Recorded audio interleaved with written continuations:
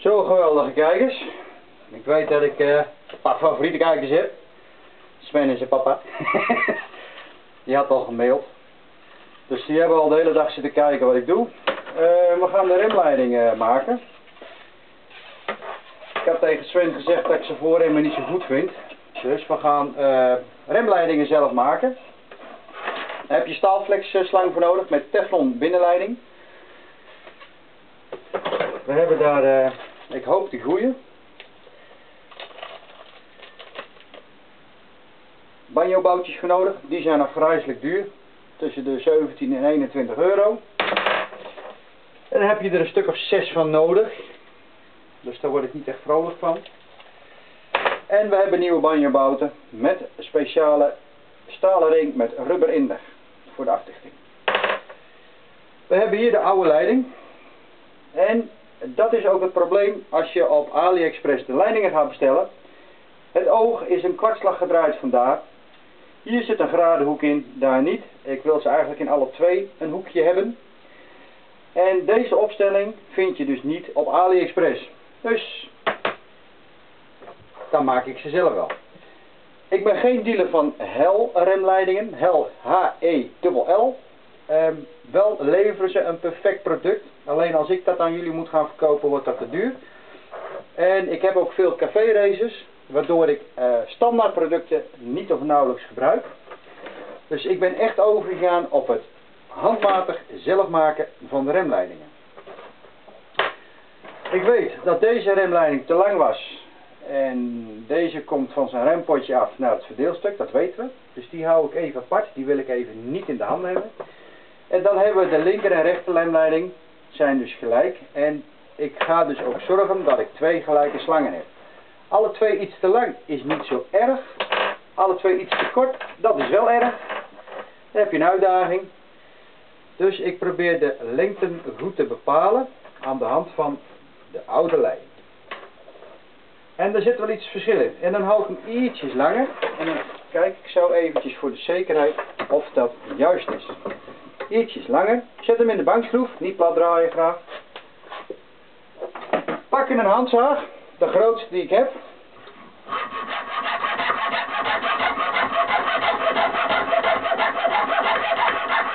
Zagen de leiding door.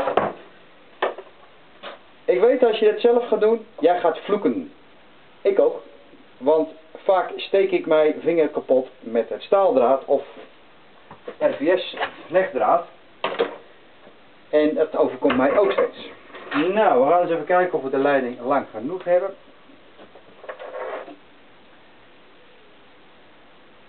Het is ook net aan. En ik weet dat ik zijn voorpoot iets dieper ingezet heb. Ik heb iets langere banjebouten, dus dit zou moeten werken.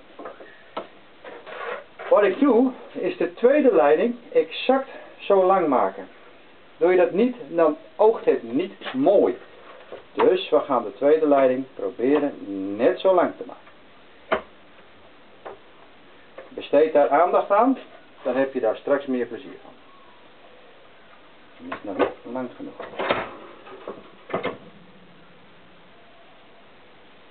Ik wil twee even lange leidingen hebben.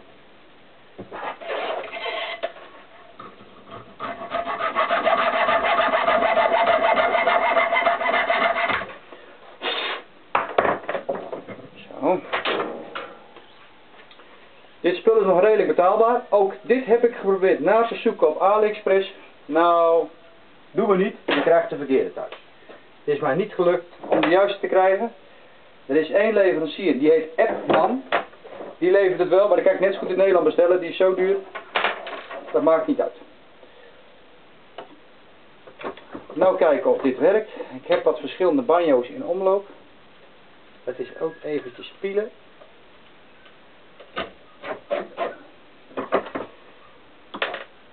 Die andere? Denk eraan, er zit een messing snij uh, afdichting bij. Dat je die niet kwijtraakt. Ik zal hem je laten zien, want ik zit natuurlijk achter de bankschroef te werken. Kijk, de banjobout bestaat uit een uh, gebogen deel, gelast, RVS en een messing snijring die aangedraaid wordt door deze huls. Daartussen komt de leiding geklemd te zitten. De teflon binnenleiding loopt hier overheen. En komt dus tussen de messingbus te zitten. Hier overheen gaat de staaldraad. Dus over het teflon, of de teflon gaat erin, maar de staaldraad gaat er overheen. En dan die wortel, die is zo gevormd dat hij de boel inwendig gewoon samenprest. Dus dat is het doel. Dan gaan we kijken. Wat ik doe is aan beide kanten eerst de wortel erop zetten. Dit vind ik niet zo mooi. Voorzichtig hem op de...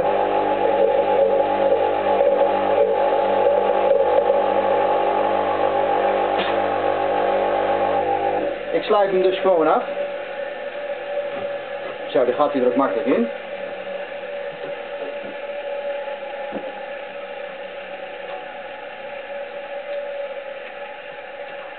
Ik heb er geloof ik al eens eerder een filmpje van gemaakt. Wat ik dan doe, is die staalontlichting wat soepeler maken, wat naar buiten buigen en denk eraan, je kunt jezelf eraan verwonden. Dan de Magic Bus erop zetten. Dat lukt niet. Daar heb ik al een vermoeden van. Even wat ruimte maken.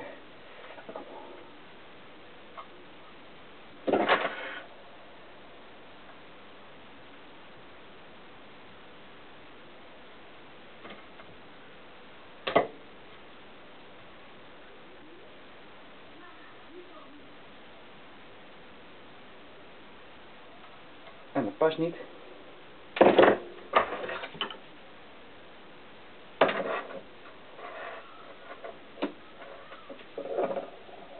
Het komt erg nauw. En ja, het is, je moet het goed doen, want anders gaat het fout lopen.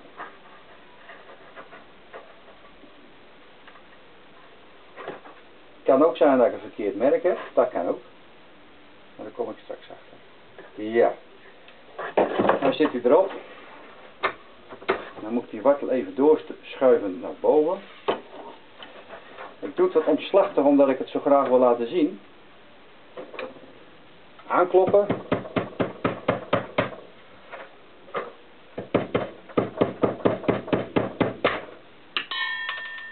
Hoogst mogelijk. Gelukkig, ik vind hem nog. Gaan we opnieuw proberen. Zo. Kijk goed dat hij aan zit. Hij veert dus nu wat terug door het staaldraad. Die steken we erin. En ik wil hebben dat er goed aan wordt gedrukt. Dus dan zet ik hem in de bankschroef. Zet hem vast. En. Het is wat dat betreft klote werk. Want deze wilde niet. Even kijken. Oh, het is 11. 11 of 12.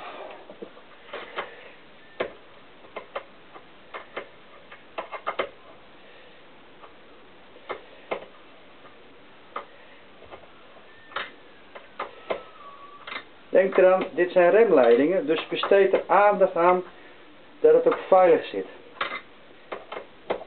De staalflex mag je, moet dus ook echt over die messing heen, echt over die messing snijring heen, anders gaat het los. Ik heb wel eens gezien dat ze dat messing of dat staalflex weg hadden gehaald en dan zag ik de teflon leiding hier uitsteken en dan hadden ze hem vastgezet met een messing snijijzer of de sluitring en het werkte ook nog. Echter, het beweegt continu en dat wil je niet. Hij loopt zwaar aan. We gaan hem niet helemaal tot het uiterste vastzetten. Waarom? Ik wil straks de leiding nog kunnen stellen. Dit is dus een vaste opstelling. Dat wil zeggen, deze dingen, die draaipunten. Kijk, als je dat draait, dan gaat de leiding knikken. En dat is met die staalflex eigenlijk nog veel erger. Dus dat willen we niet. Dus ik wil eruit wil straks de boel uit kunnen stellen. Netjes. Dat het ook gewoon op de juiste manier zit.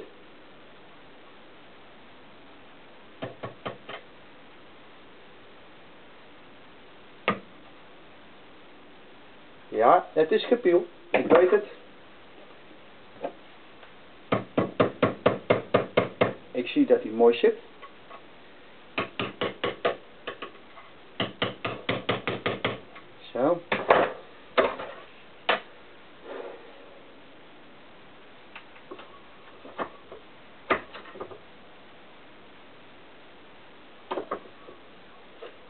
Ja.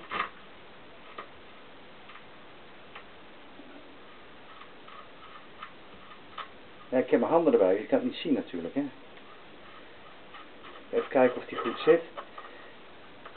Ja.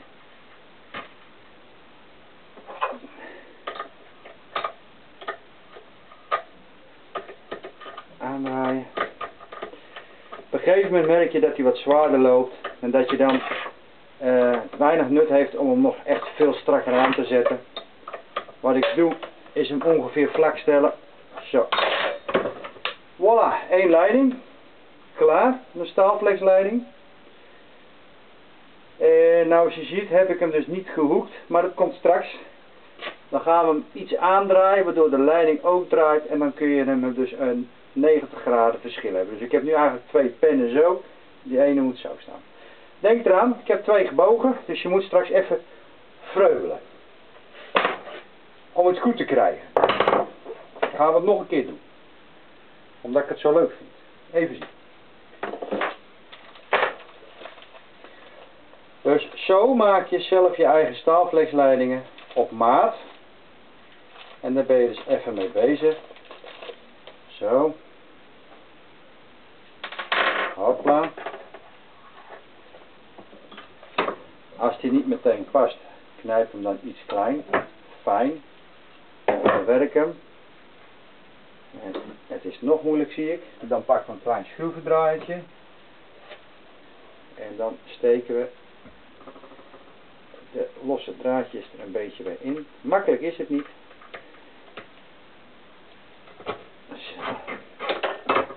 Voor de andere kant ook.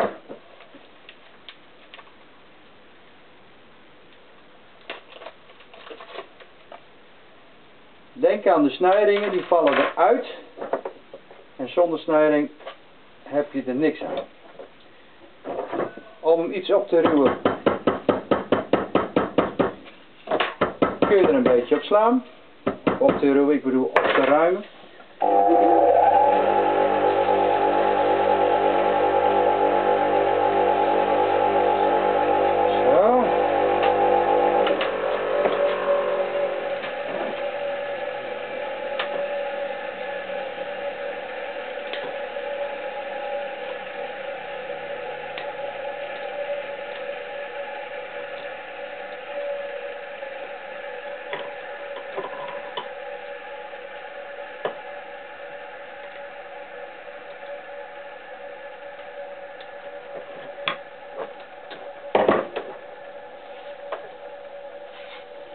Nou, kom.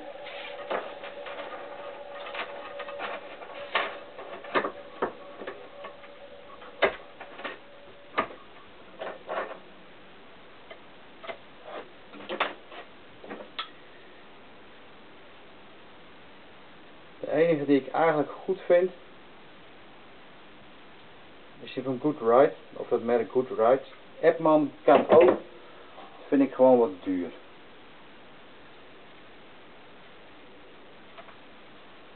Epman is de tegenhanger.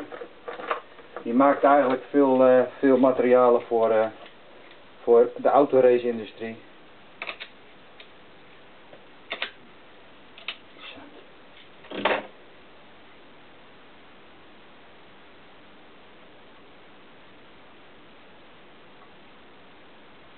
Nou, ik kan niet zeggen dat het makkelijk gaat.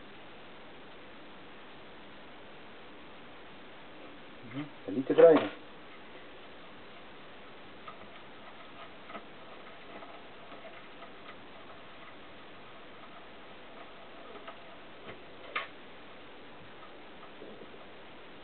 Nog een keer.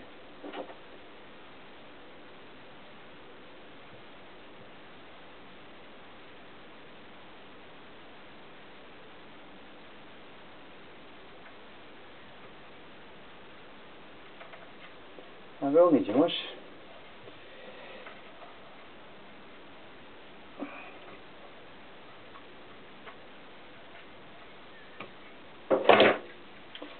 Als er eenmaal een stukje op zit, dan lukt dat wel. Zo.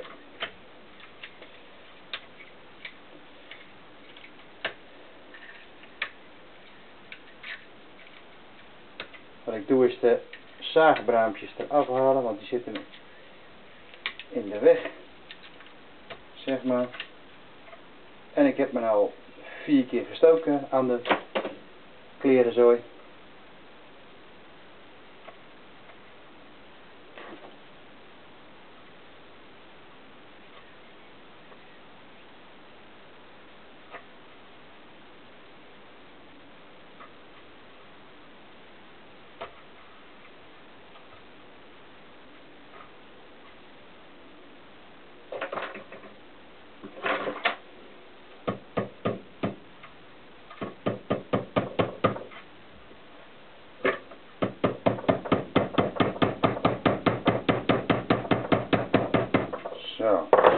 Zit.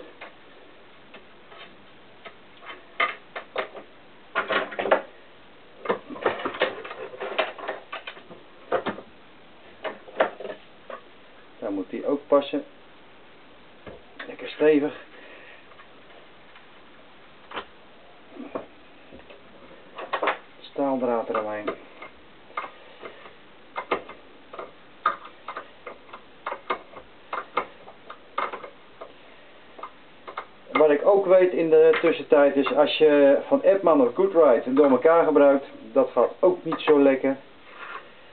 Ehm, en de goedkoopste Ali eh, shitzooi kun je beter maar laten liggen, want dat lekt gewoon.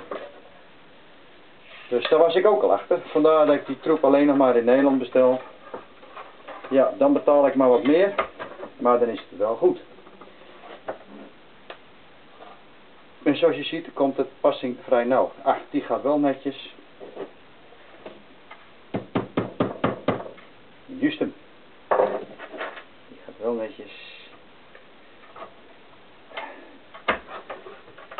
En dan hebben wij onze twee staalflexleidingen voor de remmen klaar. Maar dan komt het andere werk. Daar ga ik zo naar kijken. En op de een of andere reden is hij nog niet helemaal klaar. Want Auw.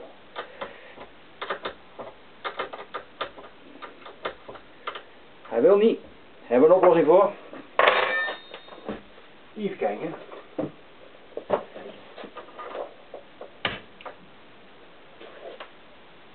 De wartel wordt tegengehouden door het wijkende staaldraad. Dus dan sla ik hem eventjes met de rings of met de steeksleutel erop. Dan tik ik hem er voorbij.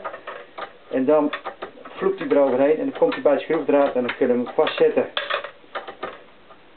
Kijk, nou gaat hij grijpen, de slang gaat meedraaien en eigenlijk weet ik dat we nu aan de afdichting bezig zijn. Zo, wat ik zeker niet wil zien is hier teflon, dat wil ik absoluut niet hierin.